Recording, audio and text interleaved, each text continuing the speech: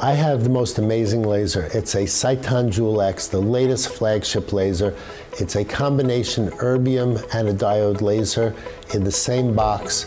This technology is far superior to the old CO2 lasers. I get amazing results with it.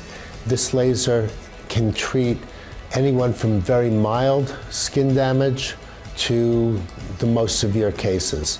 It's great at treating red spots, brown spots, dilated vessels, rosacea. It's a low downtime procedure, typically one to three or four days of downtime and gives a nice glow to your skin. I had the procedure done myself, as most of my staff have. A lot of patients ask me, how often do I need to have a laser procedure? If we're doing a full face ablative treatment, probably not for several years. But if you get a halo treatment, which is a much lower downtime, then I recommend doing it twice a year and once a year for maintenance, but you can adjust this according to your own needs and desires. The nice thing about this laser is it's a magic eraser. So if you've got some sun damage, this is a nice way to get rid of it and make your skin look younger and healthier and have a better glow.